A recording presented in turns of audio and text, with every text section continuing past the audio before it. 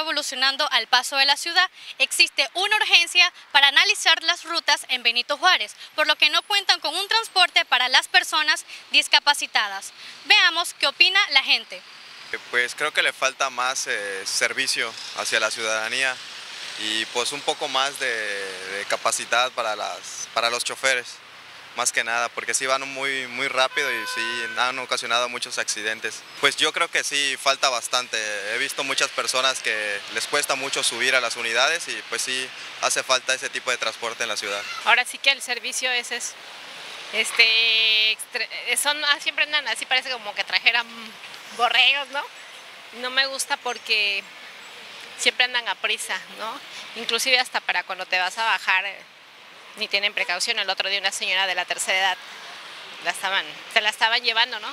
Entonces digo, yo sé que todo el mundo anda a prisa y todo eso, pero como que deben de tener un control en eso, ¿no? Pues es que sí debería de, haber eso, ¿no? Porque pues Cancún ya es un lugar turísticamente conocido, ¿no? Hay muchísima gente con discapacidad y no hay esa cultura, ¿no? O sea, entonces, pues yo digo que sí, debería de darse importancia a eso, ¿no? Es muy malo, es em, más que malo, es pésimo el servicio, no hay ningún orden, las unidades están muy viejas, los oferes no tienen ninguna preparación, no son nada amables, son groseros, huelen muy mal, definitivamente las peceras, bueno, las combis, las llenan como si fuera un autobús en donde son muy muy incómodas y trae casi encima uno el, las personas que se suben casi los tenemos aquí enfrente, entonces sí creo que es de, la, de los peores servicios que tenemos en Cancún.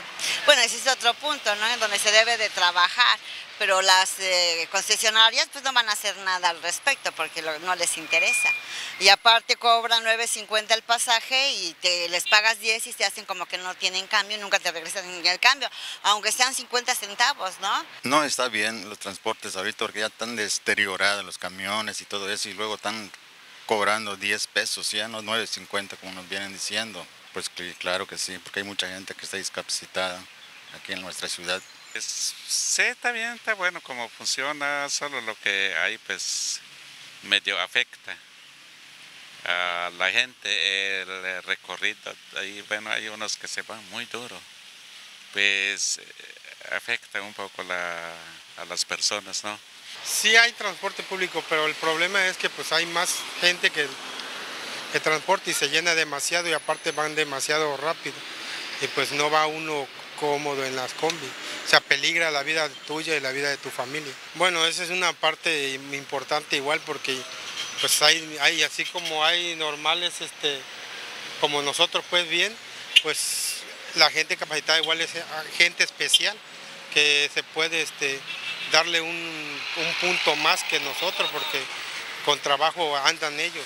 Hola, ¿qué tal amigos de Cancún Channel y Contrapunto Noticias? Como pudieron ver y escuchar, la mayoría de los ciudadanos cancunenses no se sienten conformes y se sienten inseguros con el transporte público.